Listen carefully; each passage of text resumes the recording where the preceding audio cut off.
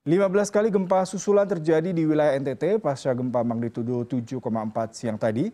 Lalu apakah gempa tersebut berpotensi kembali terjadi dan wilayah mana saja terjadinya gempa susulan? Untuk membahasnya sudah bergabung bersama kami Iman Fatur Rahman, Koordinator Bidang Informasi Gempa Bumi dan Peringatan Dini Tsunami BMKG. Selamat sore Pak Iman. Selamat sore Pak Yuda. Iya Pak Iman kalau sejak uh, siang hingga sore hari ini sudah ada lebih dari 15 kali gempa susulan yang terjadi di wilayah perairan Flores. Apakah ini berdampak akan adanya gempa susulan lainnya yang tentunya juga terasa di wilayah lain bahkan ke Sulawesi Selatan dan juga ke NTT? Iya benar. Jadi uh, kami update ya informasinya setelah tadi kejadian gempa pada pukul 10.20 23 WIB uh, dengan magnitudo 7,4 setelah kami update itu. Itu terjadi beberapa kali susulan. Tadi waktu uh, press release masih ada 14 uh, maaf 15 kali gempa susulan. Sekarang sudah bertambah menjadi um, 75 ya. 75 gempa bumi susulan sampai pukul 16.55 jadi uh, berapa jam tuh ya kurang lebih eh, lima enam jam ya setelah uh, gempa utama terjadi 75 gempa susulan. Namun magnitudenya di range uh, 2,9 sampai 6,8 ya. Uh, beberapa dari gempa tersebut memang dirasakan oleh beberapa wilayah ya. Dan saya tadi juga mendapatkan laporan dia sampai dari sampai dengan Sulawesi Selatan di Makassar juga pesisirnya juga merasakan guncangan. Ah, demikian ah, Pak Yuda. Iya Bapak kalau kita bicara mengenai guncangan gempanya sudah sampai 75 kali meski magnitudonya berkurang menjadi dua. Apakah kondisi ini bisa dinyatakan bahwasanya sesarnya sendiri memang masih akan bergerak tapi nanti akan sampai pada satu titik kestabilan sehingga tidak ada gempa susulan Pak? Iya betul. Memang uh, kalau dalam uh, apa namanya uh, histori uh, gempa-gempa yang cukup uh, moderat ya di 7,5 ini biasanya memang di di apa namanya diikuti oleh beberapa gempa susulan yang uh, biasanya lebih kecil dibandingkan dengan gempa utamanya. Jadi kalau kita melihat uh, gempa tadi setelah 7,4 ya, itu langsung uh, selang 3 menit itu 6,8. Dua menit berikutnya langsung 6,6 ya. Sampai seterusnya fluktuatif 5, kemudian 3, dan uh, yang paling kecil 2,9. Nah, ke depan apakah masih ada potensi kebesulan? Tentu saja uh, ini uh, apalagi dalam dalam belum belum apa 24 jam ini masih bisa kita pantau uh, sampai saat ini masih terus bertambah. Artinya uh, masyarakat uh, kami himbau untuk uh, bangunannya yang uh, mengalami kerusakan ya atau sudah agar tak retak uh, mohon untuk uh, waspada ya waspada lebih sehingga tidak masuk dulu ke dalam bangunan uh, yang sudah retak tetapi kalau bangunannya masih kokoh ya kuat ya mungkin masih bisa ya untuk ditempatin. Iya, Pak Iman kalau kita flashback di 29 tahun lalu tepatnya di tahun 1992 wilayah NTT juga diguncang gempa. Apakah NTT merupakan salah satu wilayah yang potensi gempanya sangat tinggi, mengingat ada sesar aktif yang boleh saja akan terus berulang seperti ini, Pak? Iya, benar.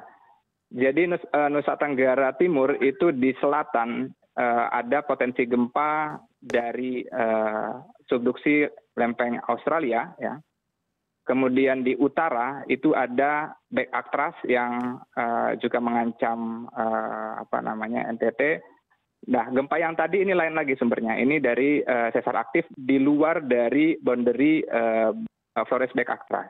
Jadi ini rupanya ada ada ada potensi lain yang selain dari uh, subduksi dan uh, back actras ya. Hmm. Jadi pro, tahun 1922 dulu pernah juga mengalami uh, guncangan gempa bahkan tsunami yang menelan korban banyak.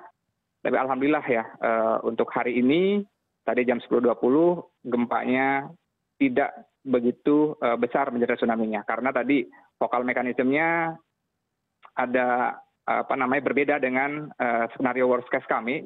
Jadi kami membuat sistem pemodelan tsunami itu berdasarkan uh, skenario terburuk di mana sumber gempanya adalah pergerakannya naik ya.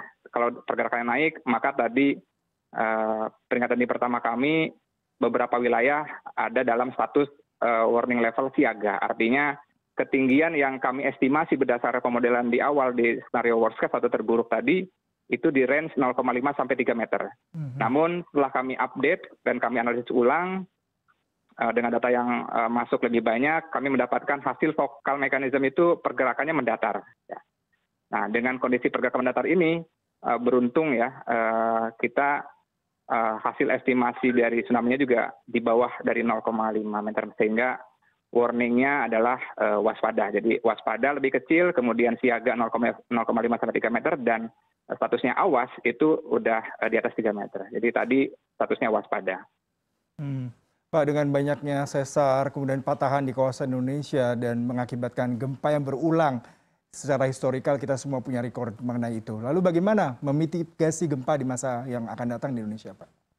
Iya, pertama tentu saja untuk melakukan mitigasi gempa saat ini kita melakukan uh, apa namanya uh, terus uh, riset ya, uh, terutama untuk percepatan dan peningkatan akurasi dari uh, informasi kami, baik itu gempa maupun tsunami. Kemudian di sisi lain tak lupa juga bahwa mitigasi gempa itu tidak bisa hanya di sisi uh, upstream ya atau di sisi peringatan dininya saja, tetapi juga harus ada kerjasama dengan uh, uh, apa namanya posisi downstream atau sisi kulturnya.